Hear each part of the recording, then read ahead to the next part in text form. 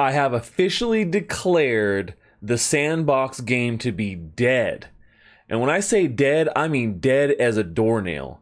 I'm going to show you exactly why I think this that this game is completely dead now and why maybe it could actually come back to life to haunt you. Are you ready?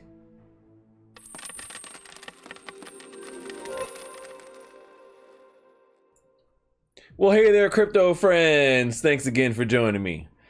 So, today we're talking all about the sandbox. This is a game that you guys know I've been really hyped about. I've been an ambassador for the sandbox for a very long time since their second pre-sale, which they have done so many more since then. Uh, I own multiple lands and I've had the team on. We've talked about the sandbox. We're creating assets in the sandbox, and I actually have even started working on my own Secret Agent Stache game for the sandbox. But today I regret to tell you guys that I think the sandbox is completely dead. That's right. I, I, I know it's almost hard to believe, but we're going to jump into all the details of why the sandbox has gone dead and why it may not be exactly what you think uh, here in a second. But before we get started, if you're not already subscribing to the channel, make sure you hit that subscribe button, the bell for notifications, and smash on that like button. And if you're not already a community uh, of my part of my community of stachers, then I would love for you to to join the community and you can uh, sign up in the Telegram link there below.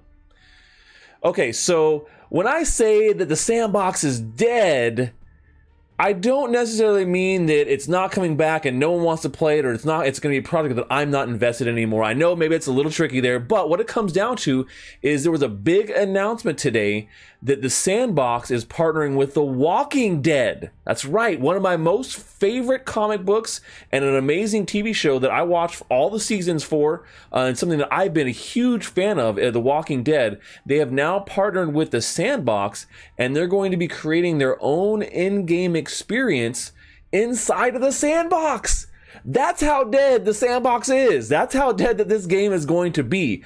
So when it comes to partnerships and IP brands that they have brought on board, the Sandbox actually does a really great job of finding some amazing IPs to work with, uh, and we've seen some of those here in the past. Uh, they work with musicians, with larger brands like Atari, which we know uh, they're all going to be building these cool, unique experiences within inside of their lands.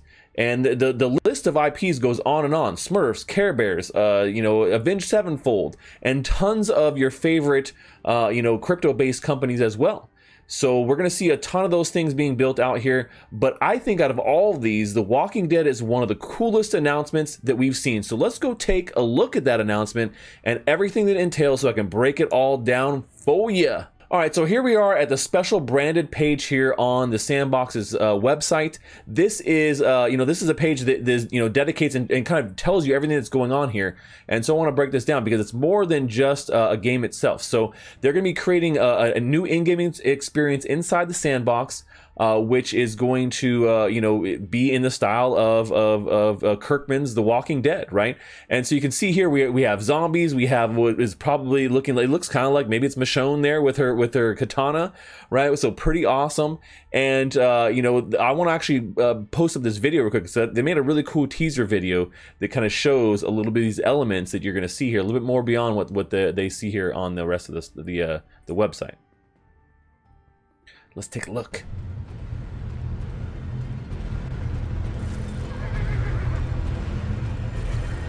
You see the walkers eating people's faces.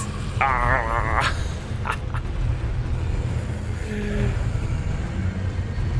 this is so hype. Look at that. There's the RV and everything. You see Rick on the horse. What? How awesome is that? So as you guys can see, this is going to be a whole cool experience you can play inside the sandbox. And not only is it going to be an experience that you can play inside the sandbox, but it is going to be a whole, it's going to be like a whole set of, of uh, creational items that you can use inside of the game maker. So the game maker is another part of the sandbox, which allows you to make your own games. So if you own land within the sandbox, you can make your own game and put it on that land, and it can be an experience. It can be something that you, you end up charging some sort of fee to be able to play, or it can just be some sort of like social hub where people are gathering, hanging out. Maybe they're just talking, chatting, or maybe you do like little mini events or things like that.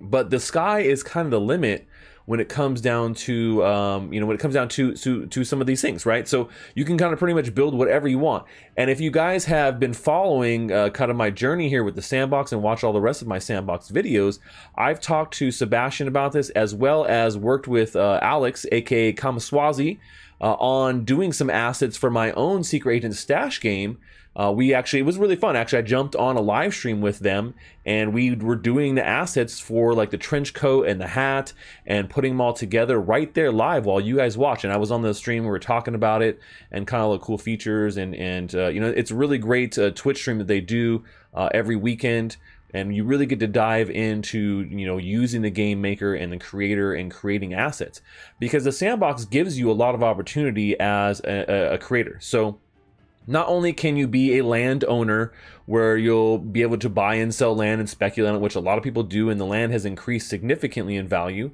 but you can also be a creator in the way of making assets for the game. Even if you don't want to make your own game, you can just create assets for other people to use, which could then be sold in the marketplace and you can profit that way. And then, you know, it, it, you also, like I said, if you want to be an actual game maker, you can make your own games and you can even package those games all together with all the assets maybe you created or assets you've used and sell the entire game on the marketplace too. Now, that's not a feature that is available right now, but that is a feature that is on the roadmap. And once the game is launched into its kind of preseason or, or, or you know, beta playable state, uh, they're going to be having some more of those features unlocked here uh, for creators. Right now, the marketplace is a little bit limited to the the you know verified creators or people who are already in the Game Maker Fund or Creator Fund. But we know that they're going to be opening that here uh, probably towards the end of the year. So everybody can be able to take opportunity to create voxel assets, to sell them in the store, or to be able to create games and monetize them uh, you know, because that, that is my plan. I, I don't know if I'm going to necessarily monetize, but I'm definitely going to be creating my own game and having a bunch of signature secret agent stache, uh, you know, assets which include things like you know disguises things like that that make you know sense for the theme. And that's the same thing the walking dead is doing here as well. So you can see they're going to have uh, 20 plus unique in-game assets from the walking dead including walkers survivors and a lot of other cool things. So you can see there's all these decorative elements. So you can see like uh, you know they, they have the uh, the don't open sign here on the wood which is pretty cool. And some of the cool like looking doors with uh, you know the grungy stuff uh, you know, walkers that are these zombies coming out, and hopefully they'll be able to like crawl and move around. But you can see like they're half bodies, uh, bloody, broken things, cars. You know, so it looks like they're going to have a pretty good variety of different assets that you can actually use uh, to create something on your own land or or just inside of your own game. You know, it doesn't have to be uh, it doesn't have to necessarily be Walking Dead themed, uh, but um, you know they do say that they're going to have some of the main characters from the from the uh, the comic book series like Michonne, and uh, I think that'll be pretty cool. You know, I want to see I want I want a Rick.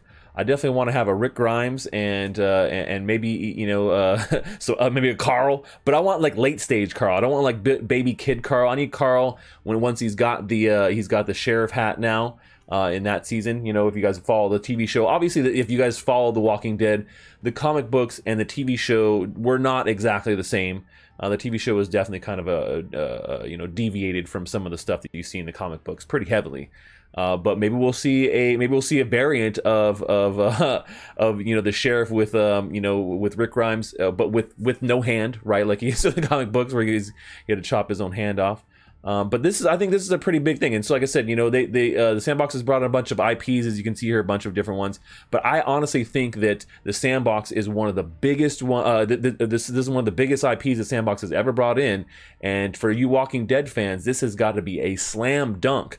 So when they come out with these assets, I am definitely going to be buying, and there'll definitely be a land sale around this land because it is not in one of the already established land sale districts. It's sitting right in the middle of the map and there's a bunch of black area around it. So it's definitely going to be an upcoming sale for lands around the, the Walking Dead. And while I've held off for the past couple months because of Ethereum fees and some of the things, I'm glad to see Sandbox coming to Matic, which will make it so much easier for me to want to buy land in this game. So this this right here just boosted up even more. So when I say the the Sandbox is dead, it is the Walking Dead. That's how dead it is. Uh, zombie status. But I am definitely going to be buying NFT lands around the Walking Dead when they launch. And so hopefully you guys like this quick breakdown of this brand new partnership announcement. Uh, let me know if you're going to be buying lands. If you love The Walking Dead, I want to know if you love The Walking Dead as much as I do.